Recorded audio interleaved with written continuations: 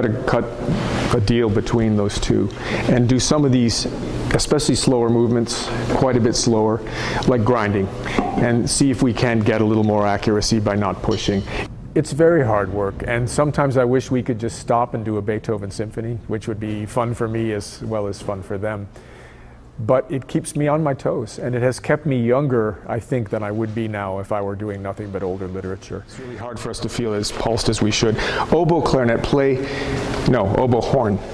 Play as if you're tenuto notes on every pitch. Do wah do wah di do so the i think slurred but so that the people playing offbeats don't get on the beat with us, which is what's happening still. Letter N, when, when it's brand new music and you can't always hear a recording, sometimes it's a world premiere, you don't have a lot of choice. You look at the score, you know the composer by reputation, or you don't, and you think this is music we should give a shot to. And I get them here as often as I can. Yeah. We're going to have two of the composers, three of, of the composers, actually, all of the composers of this concert we're preparing right now will be in attendance, which is pretty exciting.